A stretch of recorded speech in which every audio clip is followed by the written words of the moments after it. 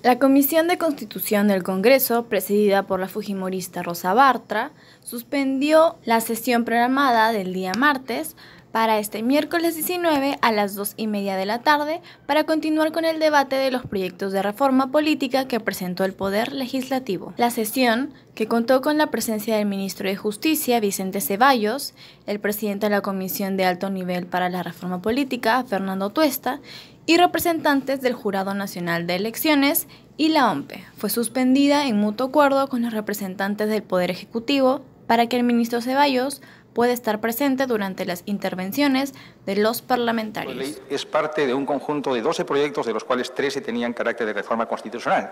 Sin embargo, esto ha quedado reducido a tres proyectos, dos de ellos también de reforma constitucional, eh, sustentado en este último espacio de la cuestión de confianza que ustedes han tenido a bien eh, tributarla. Eh, agradecer por la oportunidad, que aunque se ha atendido el primer proyecto que ya fue aprobado relacionado a impedimentos para ser candidatos y ahora dentro de los compromisos asumidos eh, pasamos a abordar un proyecto también de suma importancia relacionado, como reitero, a lo que es inscripción y cancelación. Debo mencionar asimismo eh, que la invitación del doctor Fernando Tuesta Soldevilla de sobremanera la reconocemos, porque él ha presidido una comisión de alto nivel impulsada por el Poder Ejecutivo, quienes han tenido a bien durante un periodo de 60 días. Durante la sustentación del proyecto de ley 4188 sobre la inscripción y cancelación de las organizaciones políticas, el ministro Ceballos señaló que busca entregar autonomía a las instituciones políticas para poder reforzarlas. Y la respuesta es bastante clara porque se le está entregando autonomía a los partidos políticos para de manera discrecional puedan decidir en qué lugares deben tener comités digitales, provinciales, regionales, como correspondan, y el número de ellos. En este caso, la ley era quien lo determinaba, decía, ¿no? En un tercio de las provincias y en dos tercios de los departamentos del Perú deberían instalarse los comités. O sea, es decir, una imposición de la ley. La propuesta no es que está excluyendo ni eliminando los comités, no lo que está eh, pretendiendo es que los eh, partidos políticos u organizaciones de carácter regional tengan la total autonomía para poder eh, dilucidar la pertinencia de estos, en qué regiones, en qué provincias o en qué distritos. De esta manera, Rosa Bartra levantó la sesión de este grupo de trabajo, asegurando que el debate que se realizará este miércoles estará abocado en las propuestas de los congresistas y concluirá con la votación de aprobación del segundo proyecto del Ejecutivo. Durante la primera hora y media de la sesión de la Comisión de Constitución del Parlamento, sus integrantes rechazaron que el presidente Martín Vizcarra, Vizcarra pueda interpretar como negada el voto de confianza en caso no se aprueben los proyectos de la reforma política. Luego que el presidente Martín Vizcarra enfatizara que analizaría la continuidad del Congreso en caso no aprueben sus proyectos de reforma política, Diversos parlamentarios criticaron al Poder Ejecutivo por amenazarlos y rechazaron la constitucionalidad de una posible interpretación del voto de confianza por parte del gobierno. Los congresistas fujimoristas Luz Salgado y Héctor Becerril coincidieron al mencionar que el voto de confianza que le otorgaron al gabinete del Salvador del Solar fue exclusivamente para no crear más incertidumbre y caos al país. Eh, parece que al presidente lo asesoraran personas que están buscando un caos en el país. La incertidumbre es lo peor para las inversiones, señora presidenta. Quieren llevar al país a la bancarrota, quieren llevar al país al caos. No me digas que con reformas políticas vamos a solucionar el problema del hambre, de la anemia, del desempleo, de la subida de la gasolina, del pollo. La inseguridad ciudadana que nos tiene a todos asustado, señor, porque nadie está seguro ni en su propia casa. Si este Congreso, señora, le ha dado la confianza, no es por defender los panes ni, ni, ni el sueldo, es por la institucionalidad democrática y por no crear más problemas económicos y lo han reconocido varios economistas. Yo entiendo, Presidenta, que hay congresistas que lamentablemente siguen en esta circunstancia donde tenemos que estar unidos todos, defendiendo el foro parlamentario, sigan despotricando contra el Congreso. Porque para eso han llegado.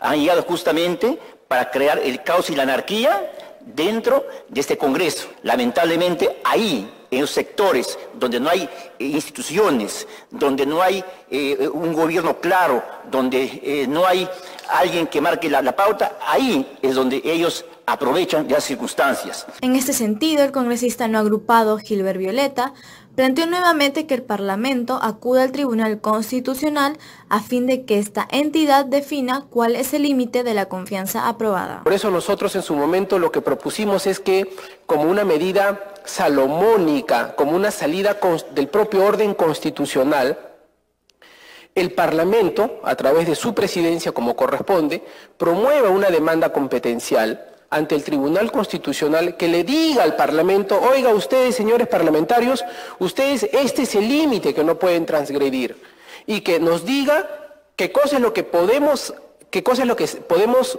reformar y qué es lo que no podemos reformar en un escenario de eh, proyectos bajo cuestión de confianza. Por su parte, el congresista Mauricio Mulder calificó de cobarde al presidente por atacar al Congreso, cuando esta institución presenta gran desaprobación popular. Nos ven débiles y entonces peor se ponen, porque son cobardes. Aquí en el Perú, Presidenta, los que tienen un poco de poder, como el señor Vizcarra, en lugar de enfrentarse valientemente a enemigos fuertes, solo son valientes cuando los enemigos son débiles. Y entonces, como ven que el Congreso hace lo que ellos quieren, entonces por eso es que salen con ese tipo de discursos. Lo que en el fondo representa simplemente cobardía. Porque el valiente se enfrenta contra el valiente. Cuando te enfrentas con un cobarde, pues ahí no tienes valentía, pues ya sabes que vas a ganar. Entonces, este Congreso tiene que responderle valientemente al Poder Ejecutivo cuando viene otra vez con este tipo de amenazas. Es impresionante. Finalmente, la Comisión de Constitución, tras una hora y media de debate, acordó emitir un pronunciamiento en defensa de la institucionalidad del Congreso, como la propuso el congresista Javier Velázquez Quesquén.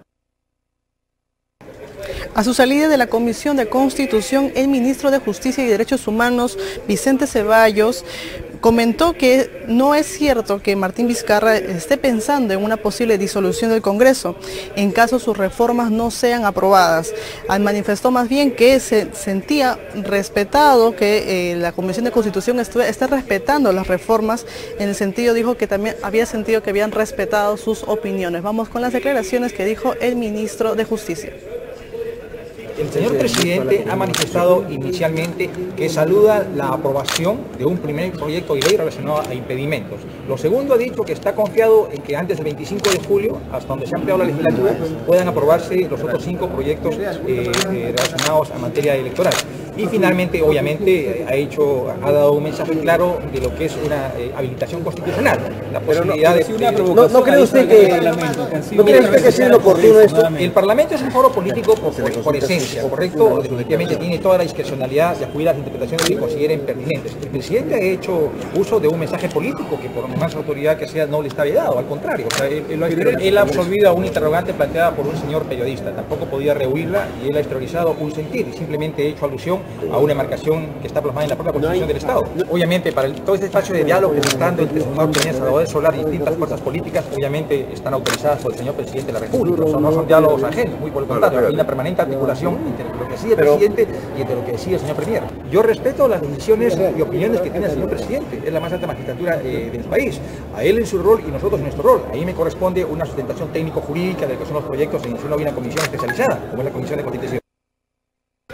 Además de los comentarios que dio el ministro de Justicia, otros congresistas también dieron su opinión. Entre ellos fue el congresista de Frente Amplio, Marco Arana, quien defendió la postura del presidente Martín Vizcarra al querer, bueno, intentar o pretender tal vez disolver el Congreso en caso no se aprueben los proyectos de las reformas políticas, sustentando que el Congreso incurrió en blindajes escandalosos y no ha cumplido con su deber. Vamos con las declaraciones de Marco Arana no puede echarle la culpa, o por lo menos de lo que he escuchado en varias intervenciones de varios colegas, eh, de todo esto al presidente Vizcarra. No nos hemos recordado aquí que se ha querido interpelar a ministros supuestamente como el ministro de Interior para explicar el suicidio de Alan García. No se ha querido aquí, no se ha usado el Congreso recientemente en una comisión para faltarle respeto, porque una cosa es cuestionar, una cosa es tener una posición clara con eh, la ministra de, Educación y el personal del Ministerio de Educación. No hay aquí un detonante sobre el tema de la protección eh, y el blindaje escandaloso en su momento a los miembros del CNM, a los cuales se les sancionó por unas cosas y por otras no, a Inostroza por una cosa y por otras no, es decir, esto, sanciones con trampa, y lo mismo que se acaba de hacer con Chávarri. Entonces aquí no se construya ¿no? Una, una imagen con pies de barro y decir, ah, el presidente tiene la culpa de todo eso y aquí nos vamos a trincherar en el Congreso. ¿Dónde nos vamos a trincherar en el Congreso para defender qué? ¿Los blindajes? ¿Para defender las exoneraciones tributarias? Para defender eh, que no estamos yendo a un tema de reforma profunda o que finalmente hacemos un conjunto de, de, declaraciones para terminar luego diciendo sí señor le damos el voto de confianza y luego decimos pero no le damos en los términos que usted quiere.